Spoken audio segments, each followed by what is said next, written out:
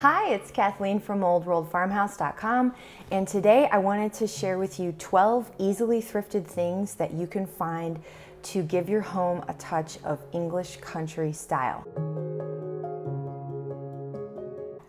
What is English country style? Well, I'm thinking, think like Downton Abbey, think like Hogwarts Castle in the Harry Potter movies, or a Jane Austen movie like Sense and Sensibility from the 1994, I think it was. These sort of classic old English homes, um, or like Hercule Poirot or Miss Marple Mysteries, where they're in these old houses with worn carpets and furniture that's been passed down for three generations, and everybody walks around wearing tweed, English country style. So, this is a style that is a lot of fun. It's very eclectic. It's very easy to find things and work them into your decor to get a little bit of that feel or a lot of that feel. So let's get started. Number one, blue and white porcelain.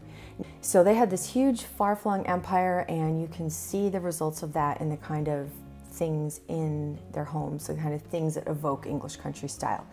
Blue and white china, that would be something obviously from China or Japan. Number two, bright chintz fabric like you'd find in the textiles of India. The big floral prints, um, also Asian fabrics with Asian themes, obviously again for their time in China.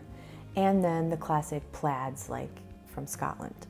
So lots of different fabric options and you can be on the lookout for all these kind of prints in the fabric section of Goodwill or your thrift store of choice. And you can use them to recover pillows or get some throws. Number three, furniture woods. So there's kind of two different ones here. There's rich, dark wood, like mahogany, very classic English, think like from their colonial period, where they're where there's lots of mahogany and they're using that to make these dark classic pieces of furniture. Or there's another way you could go with like a raw wood look, like scrubbed pine, like a scrubbed pine kitchen dresser. That's also an extremely English look, but you don't have to keep it to the kitchen. I think you could put it throughout your house. And when I'm out thrifting, I see scrubbed pine quite a bit or something or even just pine that you could theoretically strip down and make to look very English. Okay, number four, richly patterned carpets from, you know, Persian carpets from their time in the Middle East. The British were all over the Middle East for a while. It's pretty easy to find these types of carpets. You can find kind of cheap cheaper ones pretty easily, but also surprisingly often I find really good quality, richly patterned rugs at thrift shops or antique malls for pretty reasonable prices. So that's something to look for. Number five, overstuffed sofas and chairs with lots of throw pillows on them in different um, complementary, not mismatched, but like they all go together in this certain way, fabric.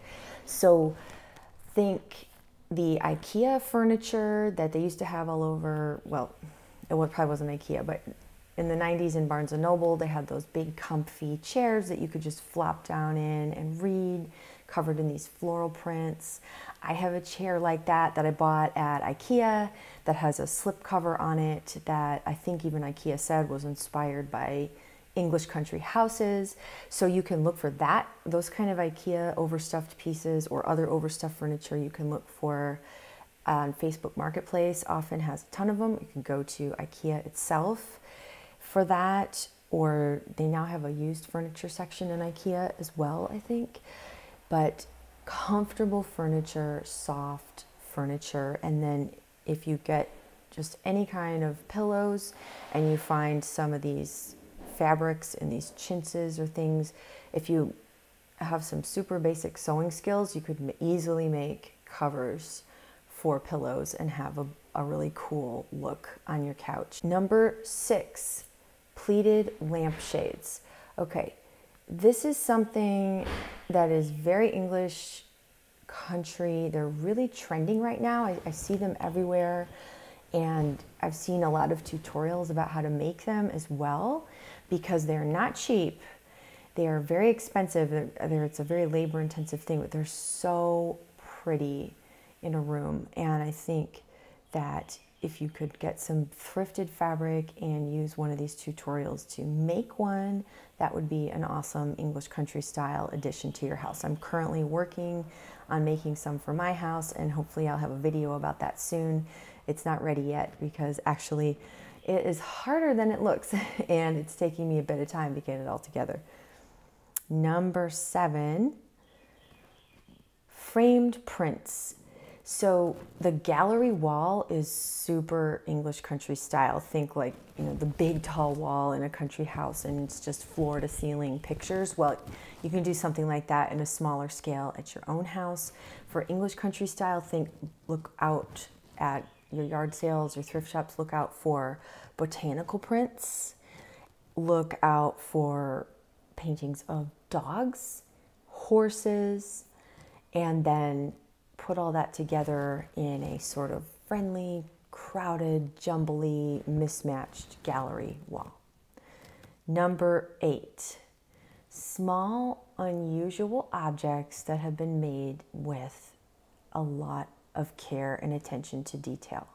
You can pick up, you can always find interesting little curios, little objects, and start collecting them and then kind of scatter them throughout your house put them on mantelpieces or bookshelves, and it just adds a lot of depth and texture. And it's a fun thing to look out for at thrift stores because you never know what you're going to find that you might really love. Number nine, instead of a coffee table, use either an upholstered bench or a chest. I sometimes see upholstered uh, benches at thrift stores or, or ottomans um, I more off I see tons and tons of chests, and I think using a chest as a coffee table gives a fun like traveling feel. And when I think of English country style, I think of all of the travel they did in their colonial days and how a trunk kind of evokes all of that. And they're really great as coffee tables and they double as storage as well. Number 10, silver. So, silver tea sets, silver bowls, silver trays, silver candlesticks, silver silverware. Tons of silver. Um, it looks great contrasted with that dark mahogany wood. It's pretty easy to find those classic Paul Revere silver bowls in thrift stores. I have found tons of silver trays over the years in thrift stores, which I love for when we're having parties. I like to put drinks on them and pass them around. I love that. I feel like Jeeves the butler. it's very fun. So keep your eye out for stuff like that. Number 11, walking sticks, umbrellas, and then an umbrella stand to keep your walking sticks and umbrellas in. So English country by the front door, the back door, but in your mudroom to have like a tall umbrella stand stuffed with walking sticks and umbrellas, and then maybe have a pair of tall rubber rain boots right next to it. So English country hunter boots seem to be the brand that's super British and everywhere. But I think any tall rubber boots would look really great with all of that. Um, I see walking sticks all the time at thrift stores. Uh, fancy, not fancy, mostly not fancy, but every once in a while I do see like the brass topped ones. So you could start a collection or maybe you just have some that your granddad had or something. I know my dad loved them and he has a couple that he's very attached to. Maybe I'll talk him into giving to me someday. And uh, umbrellas, obviously, you could go keep your eye out for like big classic umbrellas with like the, the Mary Poppins handle at thrift stores or antique shops when you're out. And then, depending on where you live, it might be really handy to have some right by the front door. Depending how much rain you get, it might be something really useful. And then finally, uh, number 12, books, magazines, cut flowers in vases and or house plants. Have these just strewn throughout your house, your living your living room, whatever. um, a stack of coffee table books, cut flowers at the thrift store, but you can definitely be on the lookout for beautiful books to display, as well as cool old back issues of magazines. Who knows, you might find a trove of something really cool. So the style altogether, it's all about being cozy and it's about being comfortable and so that's why there's all the soft furnishings and blankets and pillows and magazines to look at. It's a really charming style and it's very forgiving because you it's very eclectic and you can throw a lot of things together um, from different periods and different parts of the world and it can all come together to create a convincing English look. A few people to look out for on Instagram if you love this English country style. Ben Pentreath. I don't know if I'm saying that right. Is it Pentreath or Pentreath? I don't know. He is Duchess Kate Middleton's interior designer, and he himself has an amazing country home. Absolutely gorgeous. He's written a few books as well. His taste is superb. His Instagram feed is beautiful.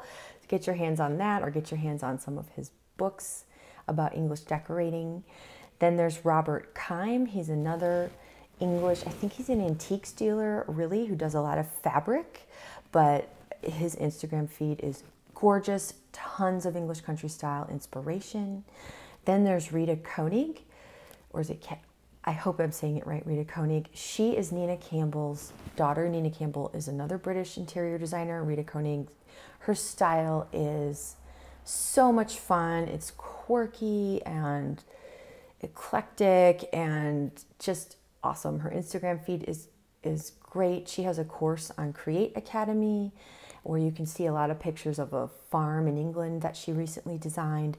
Um, then there's Cath Kidston, who is she seems to be very famous in England. She's got a blue check by her name on Instagram, and she's got this whole empire of it, it's all very Brit florals and British um, yeah, country house feel. Very beautiful. And I think in the most recent House and Garden, her house was featured.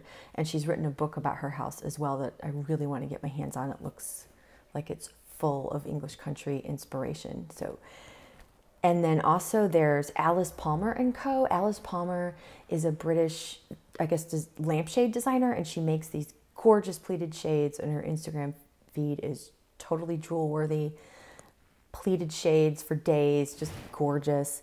And then last but not least, the Bible of British Taste is an Instagram feed that just features photo after photo after photo of the British aesthetic, the British look. If you really want to get a handle on this look in general, definitely check out the Bible of British Taste. You will love her Instagram feed.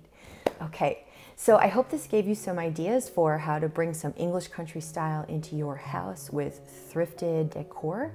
Let me know in the comments if there's other things that you can add for English country style that I left out. And please give me a thumbs up if you like this video. Check out my other videos. I've got one about how to add French country style with thrifted items as well as color palettes for English country style and French country style. This is Kathleen from oldworldfarmhouse.com where I'm all about helping you find ways to bring European country charm into your house on a thrift store budget. Thanks again for watching and I'll see you in the next video. Bye bye.